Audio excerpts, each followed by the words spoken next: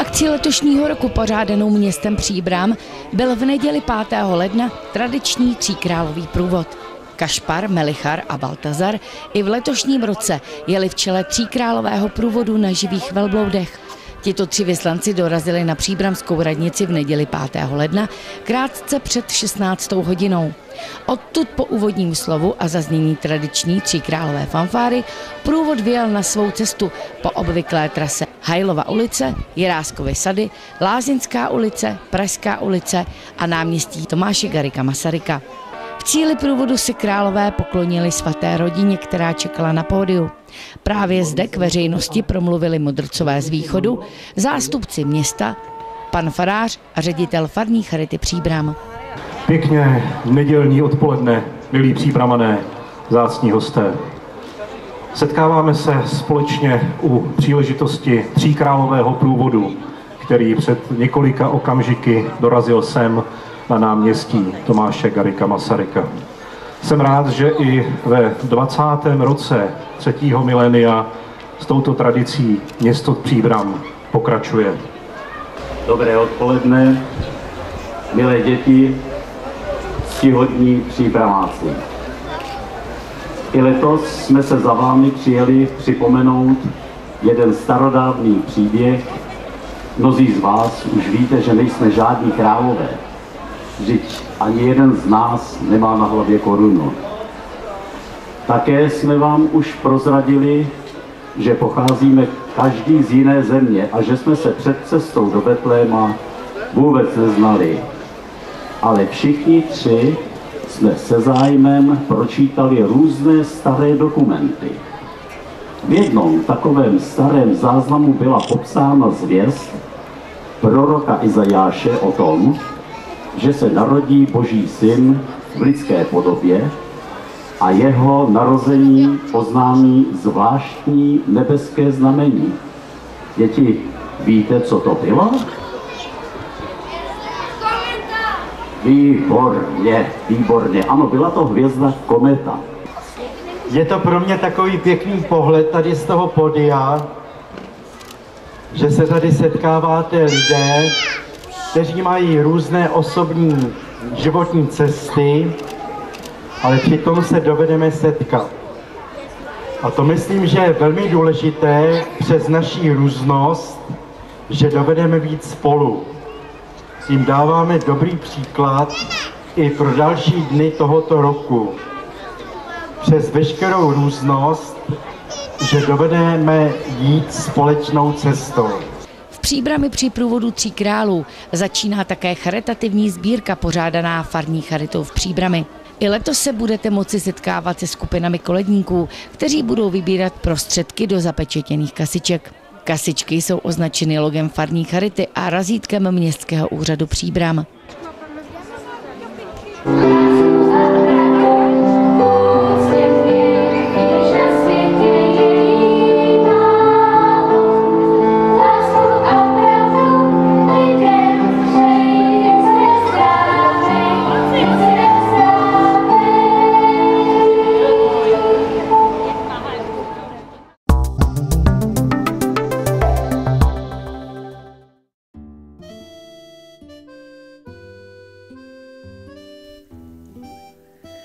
Přehrada Orlík je součástí Vltavské kaskády v jižních a středních Čechách. Byla vybudována v letech 1954 až 1961 a je největší vodní nádrží v České republice. Místy je zde hloubka až 74 metry a hladina je ve výšce 354 metry nad mořem. Velkou zkouškou prošla v roce 2002, kdy bez poškození přečkala nápor vody při povodních. V současné době je hladina pouze ve výšce 336,2 metry nad mořem. Probíhá zde rekonstrukce lodního výtahu. Výstavba bezpečnostního přelivu je také v plánu v tomto roce. Podle zprávy od povodí Vltavy na letní rekreaci by tato stavba neměla mít vliv. Pouze v dopravě bude určité omezení, kdy dojde k uzavírce mostu asi na jeden rok. Nyní je hladina tak nízko, že si můžeme prohlédnout zbytky původních obydlí, která byla zatopena před 60 lety. I my jsme se prošli s kamerou podně Orlického jezera v Bukovanské zátoce.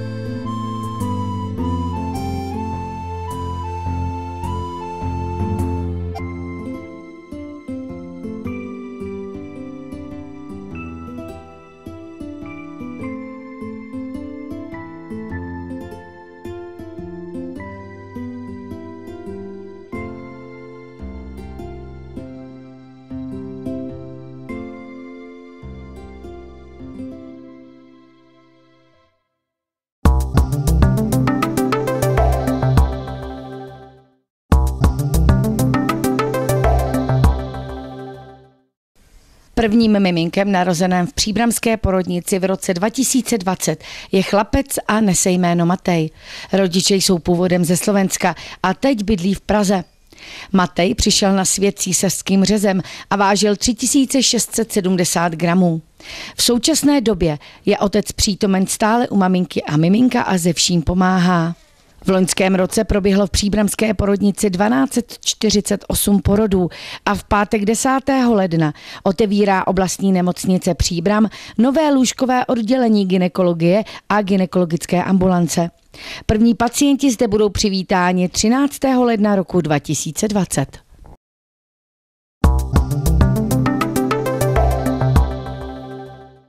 Divadlo Antonína Dvořáka v Příbrami má výtah. Bezbariérový přístup do divadla je předmětem veřejné diskuze přibližně 10 let. Nakonec bylo zvoleno řešení venkovní výtahové šachty z boku budovy. Výstavba byla zahájena na podzim roku 2019. Výtah je součástí širšího konceptu této památkově chráněné budovy. Projekt byl realizován za finančního přispění Ministerstva kultury. Městu byla poskytnuta dotace ve výši 70% z uznaných nákladů. Výtah je už skoloudován a během vánočních svátků sloužil všem návštěvníkům, kteří navštívili kino nebo divadlo Antonína Dvořáka Příbram. Cena za dílo byla 6 milionů 770 tisíc korun.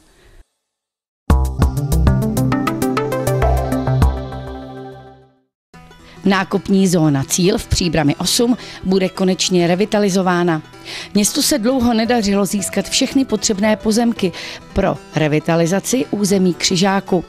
Ty má už k dispozici a stejně jako projektovou dokumentaci. Začátek revitalizace bude v roce 2020 a předpokládané náklady na celou opravu cíle území křižáku je 10 milionů 600 tisíc korun.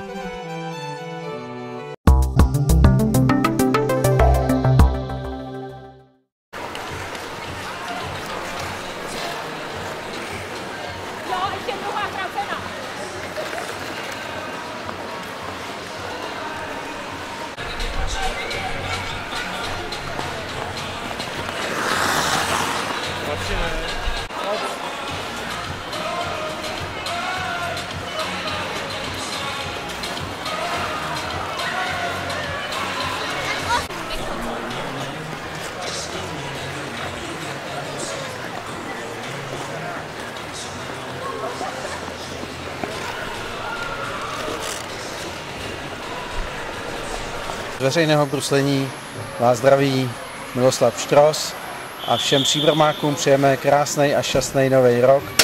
Taktéž přejeme za Luna Park Příbram eh, krásné, krásné pouťové prožitky a hlavně štěstí a zdraví v roce 2020. Jak se vám dneska bruslilo? No musím vám říct, že výborně, po 30 letech bylo to úžasný. Jak se dlouho nebruslilo? Asi 35 let, neměla bych to asi říkat. Ale a No, proto chodíte jako častěji, ne? no nevím, podle toho, jak mě bolej nohy, tak asi ne. Ale je tady výborný prostředí, výborný očerstvení. Při- tak můžeme si přiťuknout tím, tím bombardínem třeba určitě. a můžeme si popřát, ne? Určitě. Tak jdem na to. Takže co si popřejem? Tak všechno, všechno hezký v novém roce. Hlavně zdraví, štěstí, lásku a hlavně mějte se všichni moc rádi.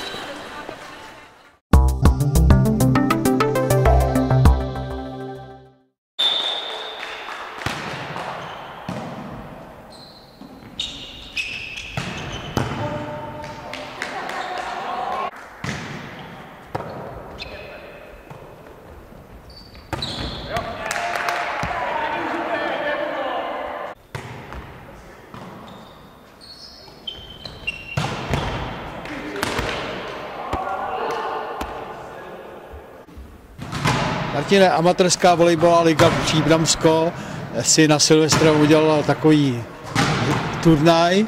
Eh, Co vás k tomu vedlo? Tak je to taková tradice naše volejbalová a chceme strávit ten poslední den v roce tím naším kulatým nesmyslem, no, kvůli kterým se takhle scházíme. Je to spíš taková společensko-sportovní událost. No. Kolik týmů se sešlo? Bohužel jsme omezený časem a místem, takže jenom čtyři. Bylo by třeba sedm týmů, ale ne, nejde, nejde, není možný, technicky nemožný. Můžeš nám je vyjmenovat, ty týmy? Máme tady uh, Březnici, máme tady Leta Dřiny, jsou bývalí profesionální hráči, máme tady Buchtičky, to je taková, řekl bych, nastupující generace výborných hráčů, no a, a Freeway, to je taková stálice. Kdo je favoritem? No, dneska bych si troufnul říct, Buchtičky, Leta Dřiny jim budou šlapat na paty. Je hezké, že jste si na Silvestr našli čas eh, na takovýto turnaj. Eh, eh, Jak to vypadá s amatérskou ligou celkově? Amatérská volejbalová liga to vlastně dělá, tady je už tuším šestý nebo sedmý ročník, minulý rok byla pauza, což je škoda. Máme tam šest týmů, je to hrozně, hrozně vyrovnaný a kdyby chtěl někdo do příštího ročníku si postavit tým, je to jenom prostě o tom postavit si tým, hrajeme 4 plus 2, hraje se v Rožmitále, jsou tam dvě tělocvičny, je tam občerstvení, to, je to taková zase přátelská atmosféra s volejbalem. Takže koho mají kontaktovat? Můžou, můžou mě, eh, naj- najdou, najdou nás na stránkách avl.cz eh, můžou, můžou mi zavolat eh, na telefon 602 144 009 a nebo mi napsat mail, máme, máme i své stránky. Toto už již asi nestačíme odvysílat dneska na Silvestra, ale bude to těsně po novém roce, takže ještě furt máš příležitost popřát eh, svým příznivcům a, a vůbec obyvatelům tady toho kraje. eh, něco do nového roku. No určitě, jako hro, hrozně rád, tak jo, mám, mám rád sport všeobecně, teď speciálně volejbal a chtěl bych popřát všem příbramákům, ale i lidem z celého okresu kraje, protože sem třeba jezdí hrát i Pražáci, tak hlavně, hlavně to zdraví a hlavně, aby tady ten sport byl pořád. Byl a na dobrý úrovni. To je to, co bych si přál.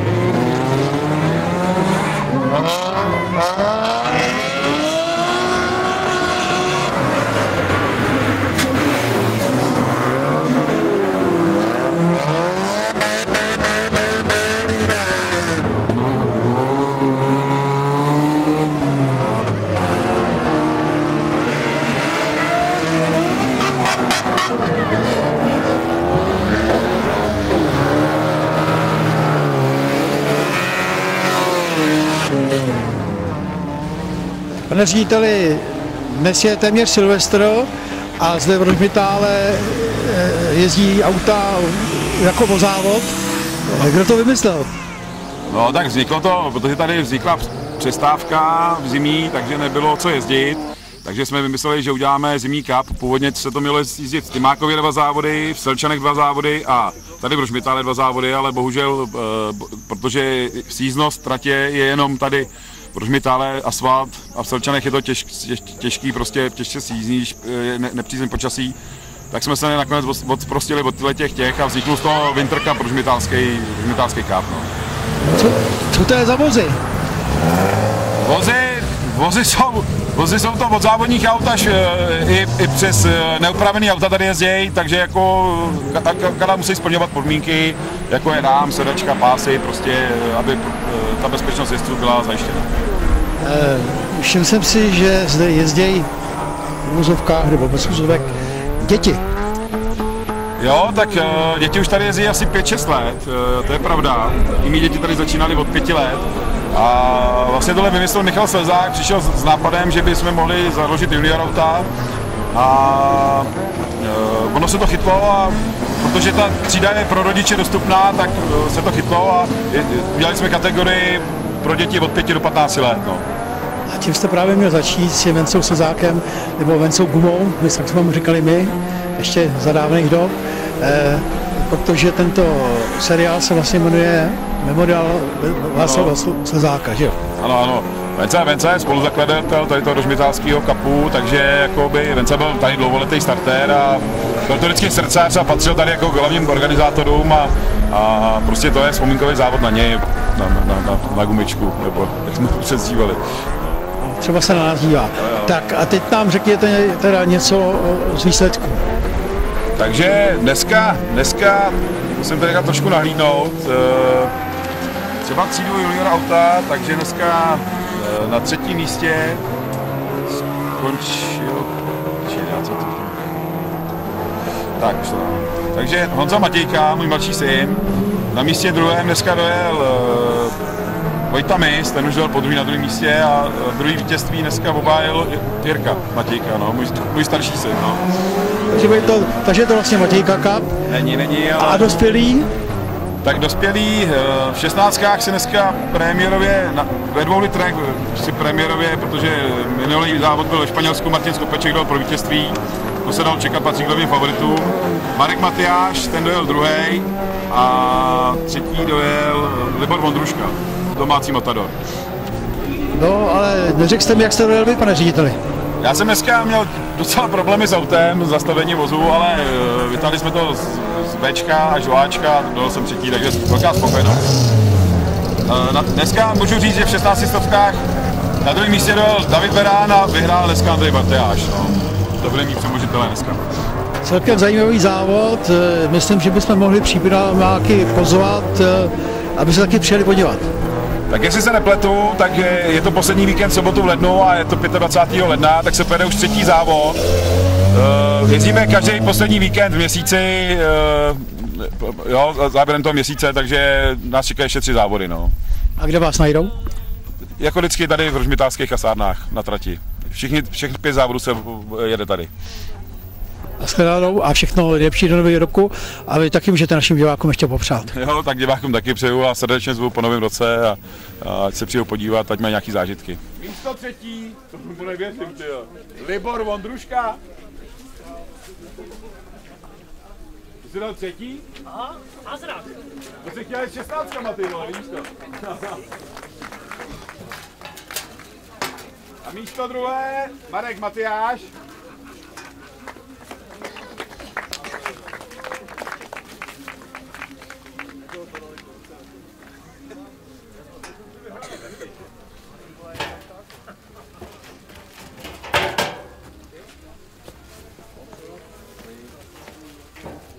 A místo první španělský pretěkár Carlos Kokoška.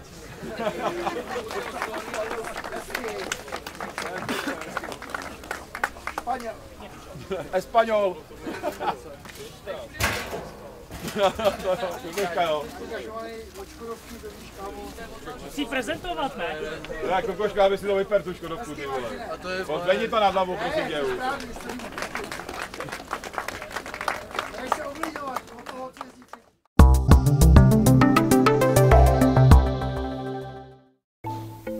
Vážení spolupčané, milí příbramané, Rád bych vám v tuto chvíli popřál do nového roku 2020 mnoho lásky, zdraví, štěstí, pokoje a dostatek času na všechno, co v příštím roce chcete stihnout. Pamatujte, že vždy je lepší zabývat se sny o budoucnosti než příběhy z minulosti. To už řekl Thomas Jefferson a já myslím, že jsou to slova, která mají univerzální platnost. Připijím na váš nový rok.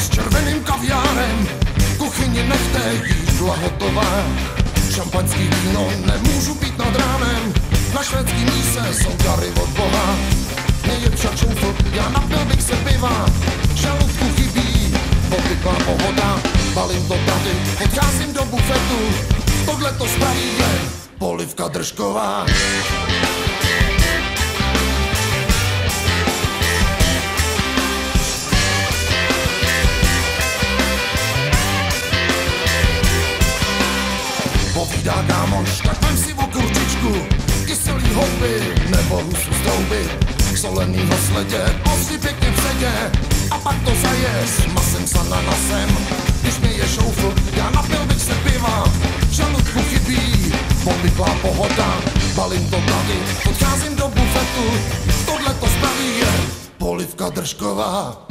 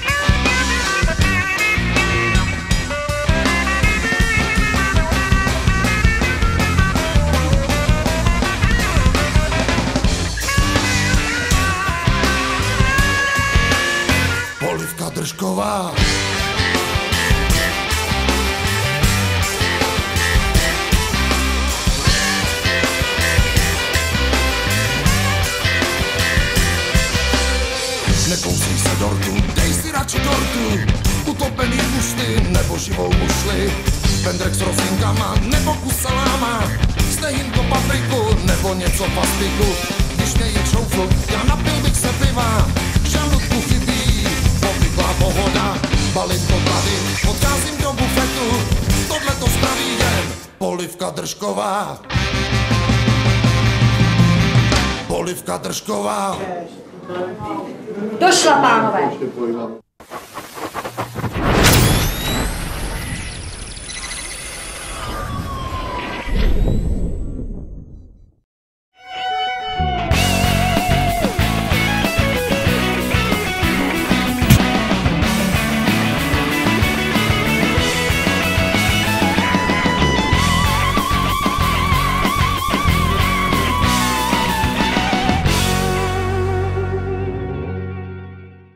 Natáčíme různé reportáže ze všech oblastí, dále reklamy, svatby, křtiny, ale i jiné kulturní a společenské události nebo akce pro děti. Potřebujete, aby o vašich aktivitách lidé věděli a nebo je viděli v televizi Fonka? Kontaktujte nás, ceny jsou nízké. Telefonní číslo 777 561 431 Šárka Nosákovcová a nebo webové stránky www.sarkanosákovcová.cz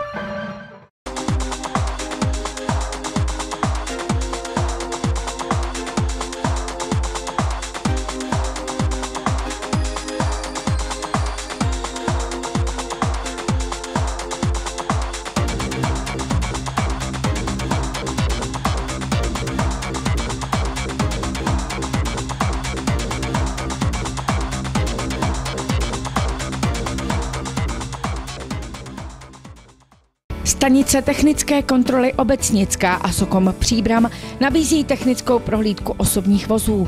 V tomto areálu vám zajistí i změření emisí vašeho vozidla potřebné k pravidelné technické prohlídce.